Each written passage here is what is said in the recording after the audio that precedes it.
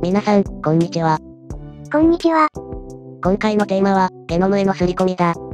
刷り込みって何？一般的に、私たちの体や行動は、どんな遺伝子を持っているかに影響される、と考えられがちだ。それはそうなんじゃない？今回は、その常識をぶっ壊す。刷り込みってのは、そういう常識に従わないってこと？勘のいいミミズクは嫌いじゃないよ。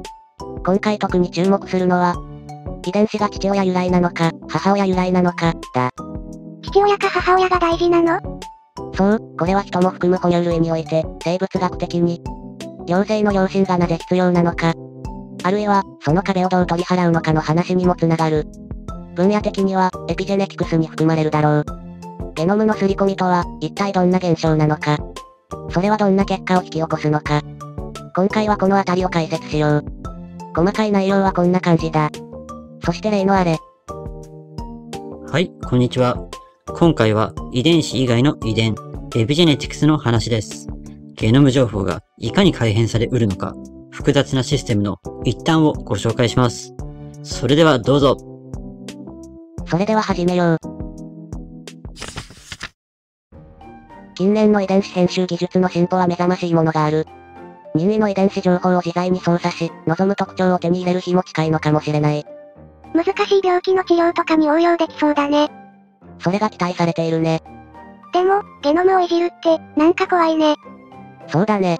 ただ、技術の社会的意義や問題点を考える前に、そもそも、どんなものなのかを理解していないと、話にならない。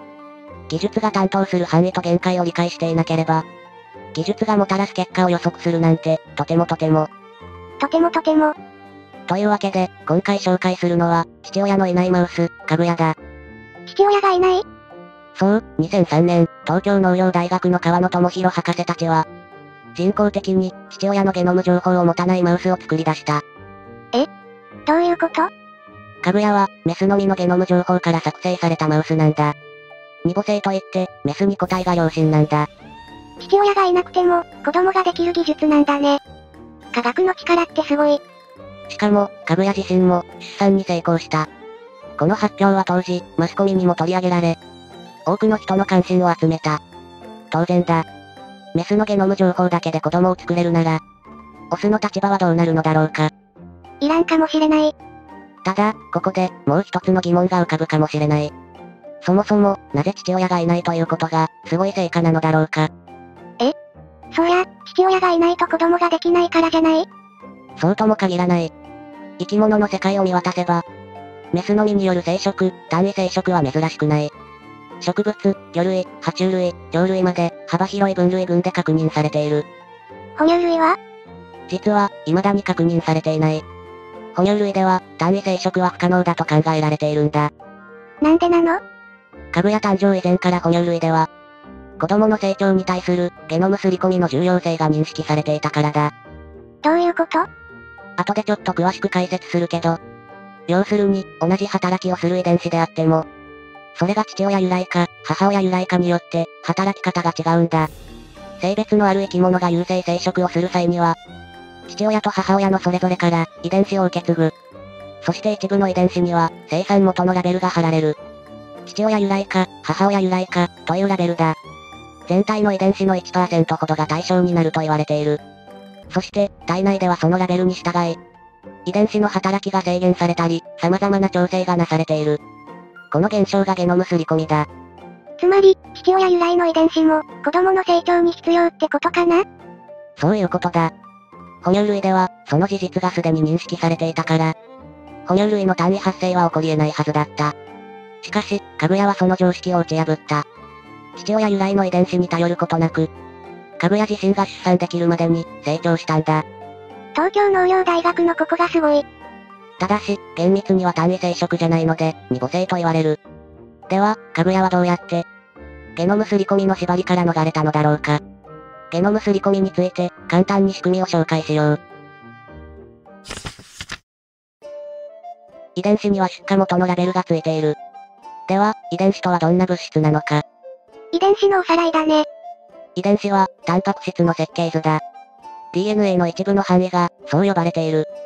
人なら、遺伝子は2万種類ほどあると言われている。じゃあ、それだけの種類のタンパク質があるんだね。話はそう単純ではない。タンパク質同士はお互いに作用し合い、生き物の体を形作っているからね。確か、遺伝子にもスイッチがあるんだよね。そう、持っている遺伝子はいつでもオンになってるわけじゃないし、いつでもオフなわけじゃない。そして、そのスイッチもまた、タンパク質によって押される。スイッチを押すタンパク質はどこから来るの？それもまた、スイッチを押されてオンになる。遡ると、母親による調整があるようだ。これは今の高校生物でも習うみたいだね。そして遺伝子のスイッチは、他にもある。それが今回の主題、エピジェネティクスだ。前にも解説してたよね。なんだったっけ？要するに、後天的に遺伝子スイッチを押して、それが長い期間にわたり、維持される仕組みがある。この研究分野は、単純な疑問から始まる。私たちの体は、小さな細胞が何十兆も集まってできている。この膨大な数の細胞は元を正せば、たった一つの細胞だ。受精卵とか？そう、一つが分裂を続けた結果、私たちの体、細胞群になっている。スーパーとかで売ってる鶏の卵は、でかい一つの細胞だ。そして、すべての細胞は、分裂前の細胞で複製された遺伝子を引き継いでいる。言い換えるなら、多少の変異はあれど、私たちの体は、細胞クローンの集合体なんだ。確かに、そういうことになるね。しかし、そうであるにもかかわらず、私たちの体は、一様じゃない。ある細胞は手になり、足になり、筋肉になり、皮膚になり、神経になる。クローンなのに、なんで違うの？それは、体の部位によって、各細胞が持つ遺伝子の働き方が違うからだ。母親はあらかじめ、遺伝子スイッチを押す物質を、受精卵の中に、偏らせて配置させている。だから、細胞分裂が進むと、何らかのスイッチを押す物質をたくさん含む細胞と、そうでない細胞ができてくる。そして、後天的に遺伝子のスイッチが押された結果、持ってる遺伝子は同じでも、働く遺伝子が違うという現象が起きる。だから、違う特徴を示すことになる。じゃあ、細胞の運命は早めに決まってるんだね。そう、そして、その方向性は大抵、不可逆的だ。一度筋肉細胞に向かえば、それ以外になることは稀だ。なぜか。後天的に、オンになる遺伝子が、制御されるからだ。エピジェネティクスとは、こういった、後天的なゲノム情報の改変について研究する分野だ。持ってる遺伝子は変わらないけど、働く遺伝子が変わるんだね。遺伝子のスイッチングはいろいろな方法で行われるが、最も代表的なものは、メチル化だ。難しい話だね。要するに、メチル化が遺伝子スイッチを管理する。このメチル化により、ゲノムすり込みが起こる。父親と母親で、メチル化される遺伝子が違うんだ。メチル化っていうラベルなんだね。私たち、有性生殖する生き物は、父親と母親、両方から遺伝子を引き継ぐ。引き継ぐ遺伝子は、変異こそあれ、基本的に同じものを渡される。要するに、数万種類の遺伝子が2セットあるんだね。そして、母親の体内では、どちらかのラベルを持つ遺伝子だけオンになったりオフになったりする。これが、哺乳類では単位発生が原則的に起こらない理由だ。どういうこと？つまり、母親由来の遺伝子も、父親由来の遺伝子も、どちらも必要になるということだ。例えば、IGF2 という、成長に関わる遺伝子は、母親のラベルが貼られていると、オフになり、父親由来の方だけがオンになる。ということは？父親由来の遺伝子がないと、子供は成長できない？そういうことになるね。人では、全遺伝子の1%ほどが、こういった刷り込みの影響下にある。もちろん、遺伝子によっては、母親由来だけがオンになることもあるし、オフになることもある。だから、哺乳類では両親の遺伝子が揃う必要があるんだ。でもかぐやは、父親の遺伝子がなくても成長したんだよねなんでなの？魔法の種は単純だ。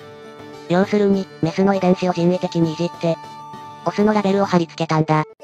そうすることで、本当はメス由来の遺伝子だが、オス由来の遺伝子だと産地偽装し、それを本当にメス由来の遺伝子とペアにした。こうして、かぐやは父親なしで成長したんだ。そんなことが、20年ぐらい前にはすでにできてたんだね。口で言うのは簡単だけど、実践するのはとても難しい。実際、かぐやは実験個体のうち、わずか1%の生き残りだ。屍の上に立ってるパターンだね。では、ゲノムすり込みの興味深い例を他にも紹介しよう。ハイブリッドだ。実は私たちは、ゲノムすり込みが引き起こす興味深い現象について、いくつかのわかりやすい事例を知っている。心当たりがないのですが。では、ライガーとタイゴンを知っているかな？えーと、トラとライオンの子供だっけ？そう、一種のハイブリッドだ。他にもロバと馬のハイブリッドであるラバや決定だったり、シマ馬と馬のハイブリッドである、ゾウスやホーブラも有名だ。あれ？なんでハイブリッドなのに、二つも呼び方があるの？それは、どちらが父親で、どちらが母親なのかで、子供の特徴が違うからだ。例えば、父親がライオンで母親がトラなら、子供はライガーで、逆ならタイゴンになる。そして、ライガーとタイゴンは違う特徴を持つ。ライガーは体重 300kg、体長は3.5メートルを超えるのに対し、ライゴンは 200kg、2メートルほどだ。大きさが全然違うね。でも、おかしくない？ライガーもタイゴンも、ライオンとトラの遺伝子を引き継いでるのに、なんで違う特徴になるの？そう、それが興味深いところだ。ライガーもタイゴンも、両親から引き継ぐ遺伝子に、大きな差はないはずだ。どちらも、ライオンとトラの遺伝子セットを一つずつ持っている。それなのに、父と母の種が入れ替わるだけで、子供の特徴は大きく異なる。なぜだろう？ここまでの解説を踏まえれば、その答えに見当がつくだろう。そう、ゲノムすり込み。言われた。メスライオンとオスライオンは、どちらもライオンの遺伝子セットを持つ。しかし、一部の遺伝子には、母親あるいは父親のラベルが貼られている。これはトラでも同じだ。父と母が一緒なら、子供が持つ遺伝子が同じだったとしても、遺伝子の働き方が違うんだ。父親由来だとオフになる遺伝子とか、母親由来だとオンになる遺伝子とかがあるってことだね。そういうことだ。だからハイブリッドにおいては、父親と母親がどの種であるかによって、子供の特徴が違うんだ。子供に伝わるのは、遺伝子だけじゃない。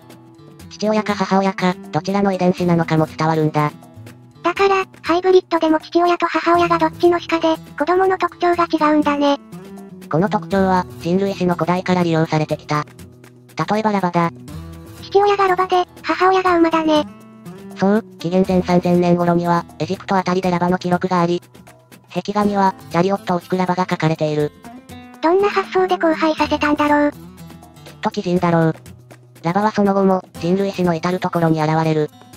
例えば、アメリカでは独立後、初代大統領のジョージ・ワシントンは、スペイン王国のカルロス3世に掛け合って、ラバを国内に導入した。ラバは馬よりも大きく、荷物の運搬などの作業に役立ったからだ。当時のアメリカの西部開拓において、ラバはいなくてはならない存在だった。さすが大統領。ただ、ラバは馬よりも気難しいようで、虎視眈々と、飼い主を蹴るチャンスを伺っている、というジョークもあったりする。やっちまいな。ということで、人類史においてもたびたび登場するハイブリッドだが、そこには、エピジェネティックな仕掛けが隠されていた。世界の謎がまた一つ、解き明かされてしまったか。では、今回の内容をまとめよう。今回は、後天的なゲノム情報の改変、エピジェネティクスについて解説したね。ゲノムすり込みだね。同じ遺伝子でも、父親由来か母親由来で、オンになったりオフになったりするんだね。そう、それが哺乳類の発生において、父親と母親が必要な理由だった。しかし、人為的なゲノム操作により、父親のいないマウスの作成に成功している。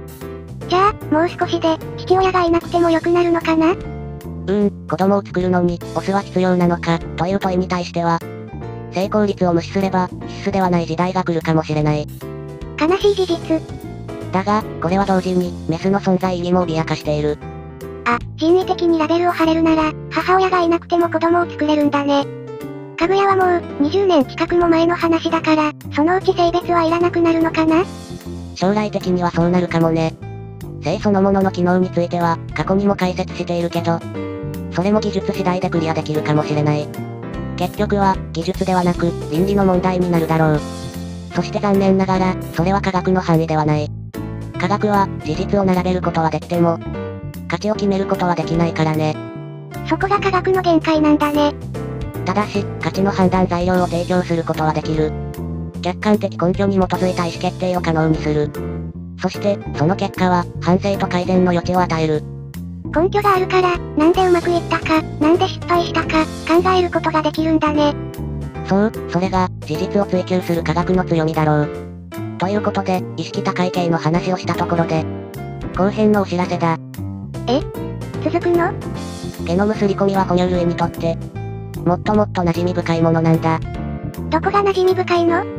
詳しいことはお楽しみだけど、あなたたち人はみんな、最初はそこで育った、とだけ言っておこう。それになぜこんな仕組みが進化しているのかも気になるところだろう。投稿間近になったらお知らせするので、気になる人はチャンネル登録して待っていてほしい。気になる、登録しなきゃ。というわけで、今回はおしまいにしよう。ここまで、ご視聴ありがとうございました。ありがとうございました。